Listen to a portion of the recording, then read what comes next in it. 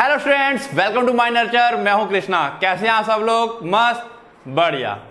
तो बहुत दिनों से कुछ बच्चे सवाल कर रहे थे एग्ज़ाम के पैटर्न को लेकर के। मेरे को लगता था कि शायद क्लियर होगा सबका, लेकिन अभी भी बहुत से बच्चे कंफ्यूजन में हैं कि एग्ज़ाम में आएगा क्या। किस हिसाब से आएगा? कैसे क्वेश्चन आएँगे? कितने क्वेश्चन आएँगे?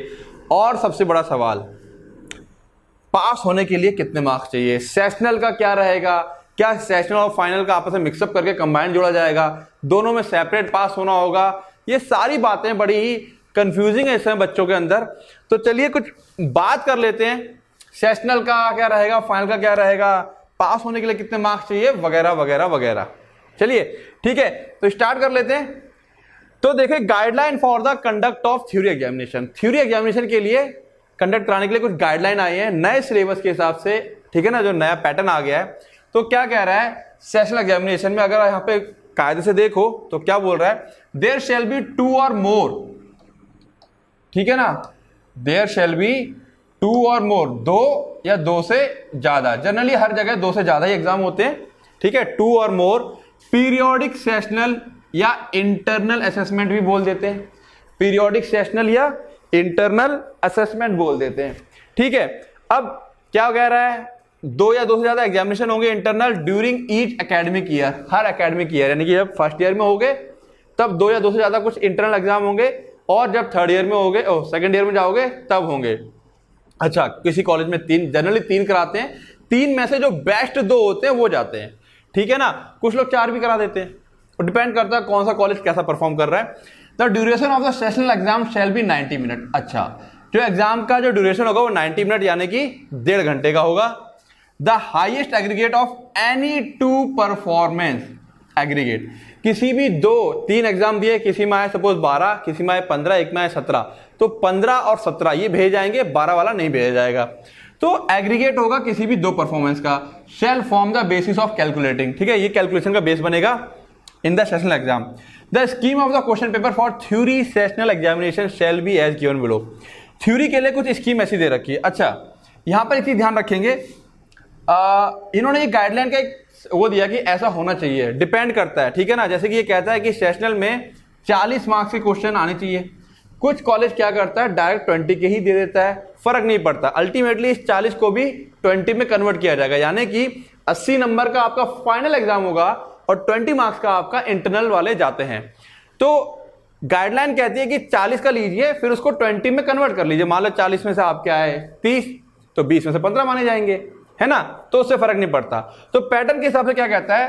अगर 40 वाला लिया जाता है तो उसमें लॉन्ग आंसर क्वेश्चन होंगे कितने? तीन। आउट ऑफ़ फोर चार में से तीन करने होंगे और उनके मार्क्स कितने होंगे? पाँच पाँच नंबर के होंगे। ठीक है ना? शॉर्ट आंसर क्वेश्चन होंगे। टोटल छह दिए जाएँगे। एक मतलब एक ऑप्शन में रहेगा तो पाँच करने पड़ेंगे तो फाइव थ्री या फिफ्टीन ये सारे कितने मार्क्स के होंगे? तीन तीन नंबर के होंगे।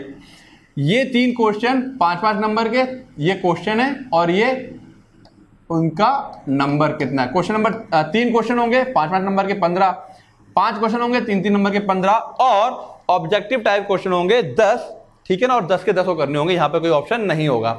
इस हिसाब से कितना हो जाएगा? फोर्टी हो जाएगा। ठीक है, कुछ कॉलेज में अलग पैटर्न चल रहा है, ये पाँच कर लेंगे, इसमें कुछ रिड्यूस कर लेंगे तो टोटल ट्वेंटी मार्क्स का कर लेते हैं। फ़र्क नहीं पड़ता, हमें अल्टीमेटली क्या है? ट्वेंटी मार्क्स ही भेजा जाना है। ठीक है? पैटर्न किसी कॉलेज में ये आ रहा होगा कुछ बच्चे कह रहे होंगे, सर, हमारे में तो ऐसा करा रहे हैं, कोई दिक्कत नहीं है, ट्वेंटी मार्क्स से ही जाना है, ठीक है?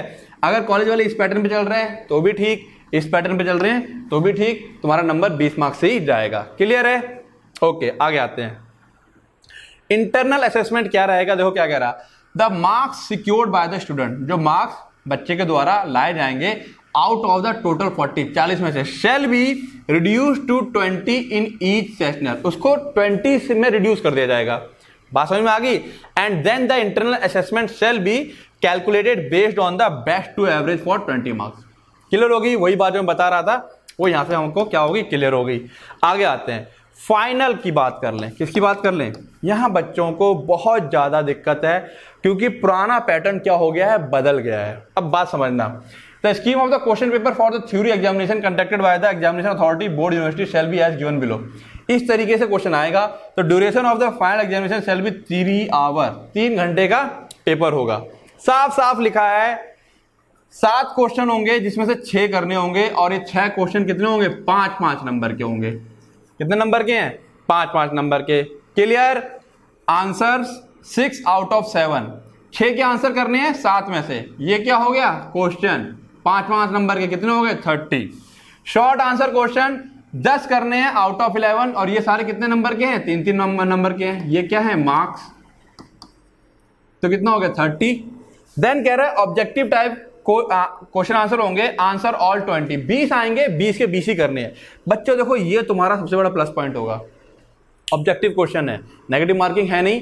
तो थोड़ा बहुत भी पढ़ रखा है हिंट मिल जाएगी तो आंसर कर ले जाओगे। अच्छा इसमें ऑब्जेक्टिव में एमसीक्यू आ सकता है मल्टीपल चॉइस क्वेश्चन आ सकते हैं फिल इन द ब्लैंक्स आ सकता है वन वर्ड और वन सेंटेंस क्वेश्चन आ सकता है। Define this what is this इस टाइप से क्वेश्चन रहेंगे।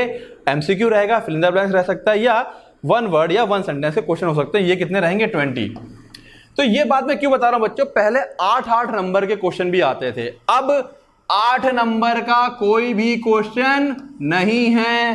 तो उसके हिसाब से इतना बड़ा तैयार करने की ज़रूरत हमको नहीं है। बात क्लियर होगी? मैक्सिमम फाइव मार्क्स का रहेगा, फिर तीन नंबर और फिर एक नंबर क्लियर होगी ये बात? टोटल कितना बना जाके? अस्सी मार्क्स क्लियर है? ये पैटर्न समझ में आ गया किसी को? कोई प्रॉब्लम हो इसमें तो मेरे को कमेंट्स कर देना, मैं उसको समझा दूँगा। ठीक है?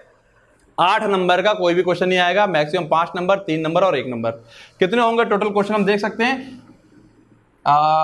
बीस और दस मतलब ये तो ऑब्जेक्टिव हो गया। ये मान लो क्वेश्चन नंबर वन होगा। ये क्वेश्चन नंबर टू होगा। टू के अंदर दस क्वेश्चन होंगे। ये क्वेश्चन नंबर थ्री होगा। थ्री के अंदर कितने क्वेश्चन होंगे? छह क्वेश्चन होंगे। ठीक है ना? क्वेश्चन नंबर वन, बीस, उसके अंदर बीस क्वेश्चन होंगे एक एक मार्क्स से। क्वेश्चन नंबर टू, उसके अंदर दस क्वेश्चन होंगे तीन तीन मार्क्स से। क्वेश्चन नंबर थ्री, उसके अंदर छह क्वेश्चन होंगे पाँच पाँच मार्क्स के। हो गया पेपर क्लियर हो गया तुम्हारा अस्सी मार्क्स। क्लियर है? ये बात समझ में आ गई? ओके आगे आते हैं अब। तो मेरे ख्याल से थ्योरी का पैटर्न समझ में आ गया। कुछ और बातें कर लें। सेशनल एग्जामिनेशन की बात करें, अब बात कर आती है प्रैक्टिकल की। कुछ बच्चे प्रैक्टिकल में भी कंफ्यूज हैं तो प्रैक्टिकल की बात भी कर लें। तो देखो सेशनल में क्या रहेगा, जो तुम्हारा प्रैक्टिकल होगा there shall be two or more periodic sessional दो या दो हज़ार सेशनल ठीक है ना? प्रैक्टिकल एग्जामिनेशन हो सकता है during the each academic year the duration of the sessional exam shall be three hour यहाँ पर क्या रहेगा? सेशनल का प्रैक्टिकल एग्ज़ाम जो होगा, वो तीन घंटे का रहेगा। ठीक है? The highest aggregate of any two performance उनमें से किसी भी दो परफॉर्मेंस के जो सबसे अच्छे मार्क्स होंगे या सबसे अच्छा एक्सपेरिमेंट किया होगा, वो भेजा जाएगा। Shall form the basis of calculating the sessional marks the scheme of question paper of practical sessional examination shall be given below practical में कुछ जो सेशनल के प्रैक्टिकल होंगे, वो कुछ ऐसे होंगे। साइनॉप्सिस साइनॉप्सिस क्या होती है? जो क्वेश्चन आते हैं, दस मार्क्स के। ठीक है ना? देन एक्सपेरिमेंट जो तुम लोग परफॉर्म करोगे, ये क्या है? पचास नंबर का। ठीक है? इसके ऊपर स्टार लगा हुआ है। स्टार का मतलब क्या है? The marks for the experiment shall be divided into various category इस एक्सपेरिमेंट का मार्क्स कई कैटेगरी में डिवाइड किया जाएगा, जैसे कि viz major experiment minor experiment spotters etcetera उस एक्सपेरिमेंट में कई सारी चीज़ें होती हैं तो 50 नंबर जितने एक्सपेरिमेंट होंगे उन सब में डिवाइड कर दिया जाएगा। ठीक है वीवा वॉस जो तुमसे वाइवा लिया जाता है देन प्रैक्टिकल रिकॉर्ड ये तुम्हारा दस नंबर का होगा। ठीक है ना? एक्सपेरिमेंट तुम्हारे जितने भी होंगे, दो या तीन जो भी रहेंगे, तुम्हारे स्पॉट देखना पड़ता है। उन सब में पचास नंबर डिवाइड होंगे। इस तरीके से तुम्हारा क्या बना ये? अस्सी मार्क्स का ये बन गया। क्लियर है? अब देखते हैं इंटरनल असेसमेंट क्या रहेगा। द मार्क्स प्रैक्टिकल हो गया। The marks secured by the student out of the total of eighty shall be reduce to ten अब यहाँ पर क्या देखा जा रहा है? ठीक है? अस्सी नंबर का हुआ, उसको रिड्यूस कर दिया जाएगा टेन में। है ना? यानी कि 80 को 10 से मान लो 80 में से आए सपोज़ कितना है मान लो 80 में 80 आते हैं तो 10 में से 10 मिल जाएँगे। 80 में से 40 आए तो 10 में से 5 मिलेंगे। बात समझ में उसी हिसाब से कन्वर्ट किया जाएगा। क्योंकि एक्चुअल में तुमको कहाँ से होगा? जो तुम्हारे मार्कशीट पे आएगा, वो वहाँ पे इंटरनल प्रैक्टिकल 10 नंबर में काउंट किया जाएगा। क्लियर है? Okay and then internal assessment shall be calculate based on the two average of for the ten marks है ना? टू एवरेज लिए जाएँगे, दस दस वाले, उसमें दिया जाएगा। तो टोटल कितना हो गया ये? ट्वेंटी मार्क्स हो गया ये। अस्सी की थ्योरी, बीस का प्रैक्टिकल। क्लियर है? Okay. For the sessional and then other ये भी हो गया। ओके। तो actual performance in the sessional examination दस मार्क्स अब ओवरऑल क्या आ रहा? Actual performance in sessional examination उसका दस। दस में से उसके नंबर मिले assignment marks average of three जो असाइनमेंट दिए गए तुम लोगों को असाइनमेंट मिले होंगे कॉलेज में, वो पाँच के रहेंगे। ठीक है ना? फ़ील्ड विज़िट फ़ील्ड विज़िट हुई होगी। ठीक है ना? उसका तुम्हें पाँच नंबर दिया जाएगा। क्लियर है? अब यहाँ पर कोई स्टार स्टार और ये साइन बना हुआ है, इसका मतलब क्या है? Only for the courses given with both assignment and field visit ठीक है? अगर ये दोनों है तुम्हारे कोर्स में तो दोनों है अदरवाइज़ किसी एक में ही मान लो केवल असाइनमेंट है तो दस नंबर का असाइनमेंट हो जाएगा। फ़ील्ड विज़िट ही है केवल तो दस नंबर का फ़ील्ड विज़िट हो जाएगा। तो इस तरीके से मार्क्स का क्या रहेगा? तुम्हारा डिस्ट्रीब्यूशन रहेगा और फिर ये टोटल तुम्हारा जो इंटरनल असेसमेंट फाइनल जो बनेगा, वो बीस नंबर का ये बनेगा। इसीलिए बच्चों, कहता हूँ टीचर से बना के रखना, ठीक है ना? टीचर से पंगे मत लेना, ठीक है? दोनों चीज़ें हैं, तुम्हें ज्ञान भी दे रहे हैं, प्लस बेवजह पंगे लोगे तो फंसोगे फिर, ठीक है? तो इसीलिए जो इंटरनल नंबर है टीचर के हाथ में है। टीचर जैसा बोले, वैसा काम उसको प्रॉपर करके देते जाओ। गुड इमेज बना के रखो टीचर के सामने। क्लियर है? ओके। अब क्या कह रहा है? फॉर द कोर्सेस ठीक है इससे मतलब का नहीं है। ओके, आगे आते हैं। अब क्या कह रहा है ये? आगे देखते हैं। फाइनल बोर्ड अगली यूनिवर्सिटी एग्जामिनेशन जो फाइनल होगा हमारे पास, है ना? जो फाइनल होगा हमारे पास प्रैक्टिकल उसमें क्या रहेगा? सनॉप्सिस आएगी दस नंबर की। ठीक है? एक्सपेरिमेंट होगा, साठ नंबर का जो बाहर से एग्जामिनर आएगा, उसकी बात चल रही है ये। देन व्यू अवॉर्स होगा, दस मार्क्स का फाइनल कितना हो गया ये? अस्सी। क्लियर तो अस्सी मार्क्स का फाइनल और बीस नंबर का जो प्रैक्टिकल इंटरनल हुए, दोनों मिला कितना हो गया? सौ। और 80 नंबर की थ्योरी और 20 नंबर के सेशन वाले, वो मिला के कितना हो गया? 100 ठीक है ना? बात समझ में आ रही है? Okay. The marks for the experiment shall be divided into various category ठीक है एक्सपेरिमेंट जो है, उसको कई कैटेगरी में एक्सपेरिमेंट होंगे, उसमें डिवाइड कर दिया जाएगा। ये बात समझ में आ रही है? क्लियर है? ओके। तो यहाँ पे हम लोगों ने ये चीज़ समझ में आगे होगी कि थ्योरी ठीक है ना? इंटरनल वाली और फाइनल वाली। प्रैक्टिकल इंटरनल वाला और फाइनल वाला। क्लियर है ना? ये रहा तुम्हारा अस्सी मार्क्स का और ये रहा तुम्हारा ट्वेंटी मार्क्स का। क्लियर है बात ये? ये बात समझ में आ गई है? यानी कि ये टोटल सौ नंबर का होगा और ये टोटल तुम्हारा सौ नंबर का होगा। अब देखो प्रैक्टिकल बच्चों, सौ मार्क्स का है। बड़े आराम से बहुत अच्छा स्कोर कर सकते हो। ठीक है टीचर से बना के रखो बड़े बड़े एक्सपेरिमेंट करो। टीचर जैसा बोले, करते रहो। बहुत अच्छा स्कोर कर सकते हो। कह सकते हैं कि ये कितना हो गया? 200 अब 200 में से ये 100 नंबर तो बच्चों तुम लोगों को फ्री फंड के मिल रहे हैं। प्रैक्टिकल के? अच्छे से करोगे, बढ़िया नंबर मिलेंगे। अब बात आती है प्रैक्टिकल में तो बच्चे कहते हैं, सर, ठीक है पास हो जाएँगे जैसे तैसे थ्योरी में क्या रहेगा? तो देखो थ्योरी में बता दूँ मैं। जो फाइनल एग्ज़ाम की थ्योरी होगी, वो कितने नंबर की है? अस्सी नंबर की। इंटरनल कितनी है? ट्वेंटी मार्क्स टोटल कितना हो गया? हंड्रेड तो अब रूल ये कह रहा है, जो आ गया है, इस हंड्रेड मार्क्स में से तुमको फोर्टी मार्क्स लेके आने हैं फोर्टी परसेंट कितना लेके आना है? Forty percent. यानी कि हंड्रेड में से तुम्हें कितने मार्क्स चाहिए? चालीस नंबर चाहिए, मिनिमम आउट ऑफ़ हंड्रेड। अब सुनो कहानी। दोनों का कंबाइंड करके माना जाएगा। क्या माना जाएगा? दोनों का कंबाइंड करके। सॉरी इधर ट्वेंटी है ये। ठीक है? जैसे कि छोटा सा एग्जांपल दू, मान लो तुम ये इंटरनल एग्ज़ाम में कितने नंबर ले आए? पंद्रह नंबर आए तुम्हारे। सपोज़ लेट तुम इंटरनल में तुम्हारे कितने गए? यहाँ से पंद्रह। तो यहाँ तुम्हें कम से कम अस्सी में से कितने लाने होंगे?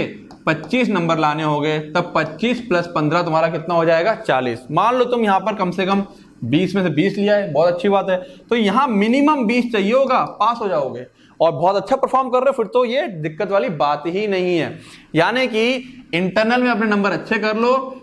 फाइनल में थोड़ा सा लोड कम हो जाएगा। बहुत सारा होता है। ठीक है ना? तो वहाँ पे जितना अच्छा इंटरनल रहेगा फाइनल में उतने ही कम मार्क्स ला करके पास हो जाओगे। ये उन बच्चों के लिए जिनको ये लग रहा है कि हम पास होंगे कि नहीं होंगे। अब मेरी बात सुनो, ये बात समझ में आ गई? अब बात बताता हूँ मैं अस्सी में से। ठीक है ना? अस्सी में से कितना स्कोर कर सकते हो? बहुत आराम से। बच्चा बहुत परेशान है, सर क्या क्या पढ़े क्या क्या ना पढ़े। तो देखो, मैं यहाँ पर तुम लोगों को बता दूँ, अब अस्सी में से, जरा ये देखो गौर से। ये जो ट्वेंटी मार्क्स के वन मार्क्स क्वेश्चन है बच्चों। क्या इसमें तुम लोग दस से बारह नंबर नहीं ला सकते? अरे वन वर्ड क्वेश्चन है एमसीक्यू एक झलक देखोगे, खटाक से आंसर याद आ जाएगा। एक झलक देखोगे, खटाक से आंसर याद आएगा। पूरा पढ़ रखा है ना किसी सब्जेक्ट का तो 20 में से 10 नंबर तो बड़े आराम से खींच के लेके आओगे, मैं कह रहा हूँ। इस 20 में से 10 नंबर बड़े हंस के लेके आओगे। अक्कड़ बक्कड़ भी करेंगे ना, कुछ बच्चे अक्कड़ बक्कड़ बम्बे, वो जय माता दी। है ना? मतलब अपने अपने अल्लाह ईश्वर का नाम लेकर टिक करोगे, तब भी आज सही हो जाएँगे। बात समझ रहे हो? मैं ये कहना चाह रहा हूँ। उन बच्चों के लिए बता रहा हूँ जो डर रहे हैं बहुत ज़्यादा। जिनको सब आता है वेरी गुड बहुत अच्छी बात है, लगे रहो, ऐसे पढ़ते रहो और आगे बढ़ो। जो लोग बच्चे डर रहे हैं, उनकी बात बता रहा हूँ मैं। बेटा, दस नंबर तो यहाँ बड़े आराम से आ जाएँगे तुम्हारे। थोड़ा सा भी अगर एक झलक भी अच्छे से देख रखा है ना पूरा सिलेबस तो यहाँ दस नंबर खींच ले जाओगे वन मार्क्स में। बात समझ रही हो? ठीक है ना? और बाकी अगर तुमको और कितने चाहिए होंगे? मान लो पंद्रह उधर आ गए हैं, पंद्रह नंबर तो और चाहिए तो बाकी बेटा सत्तर में से क्या पंद्रह नंबर लाना तुम्हारे लिए भारी पड़ेगा? बहुत आसान है, कोई भी मतलब ये दस क्वेश्चन है ना? पाँच क्वेश्चन भी कर ले गए सही से, वो वाला एक क्वेश्चन भी आता होगा, पाँच पाँच वाला एक क्वेश्चन भी आ गया, दो क्वेश्चन आ गए तो खींच ले गए। इन छह क्वेश्चन में से दो क्वेश्चन अगर तुम्हें पाँच पाँच वाले आ गए तो हो गया काम। बात समझ रहे हो? अब ठीक है ना? तो इसीलिए डरना बिल्कुल नहीं है लेकिन हाँ पढ़ते रहना है साथ में। ये बात समझ में आ गई? तो इसीलिए पास होना बहुत ही आसान है। जो लोग सिर्फ़ पास होने से डर रहे हैं कि सर हम पास हो पाएँगे नहीं हो पाएँगे बहुत आसान है पास होना। बिल्कुल ना डरें। जितना बता रहा हूँ उतना आराम से पढ़ते चलें। ठीक है? दो सब्जेक्ट तो मैं कवर करा दूँगा बच्चों लेकिन सारे सब्जेक्ट कवर करा, करा पाना मेरे लिए पॉसिबल नहीं हो पाएगा। ठीक है? After all I am a human ठीक? तो बाकी सब्जेक्ट की तैयारी अच्छे से करते रहें। ठीक है? तो मेरे ख्याल से सारे डाउट्स क्लियर हो गए होंगे और अब कुछ लोगों को रिलैक्स फील हो रहा होगा। अच्छा ये ऐसा है। आठ नंबर का क्वेश्चन नहीं आएगा। बच्चे बिल्कुल दिमाग से निकाल दें कि आठ नंबर का कोई क्वेश्चन आने वाला है। मैक्सिमम पाँच नंबर तीन नंबर उसी हिसाब से तैयारी करें कि ये क्वेश्चन मेरे को मैक्सिमम पाँच नंबर का आएगा, उससे ज़्यादा नहीं आएगा। क्लियर है? बात क्लियर हो गई। डन डर खत्म हुआ कुछ। बहुत बढ़िया। क्या करना है? सर रिवीजन करना है। ठीक है। क्या करोगे? रिवीजन करना, पढ़ते रहो। All the best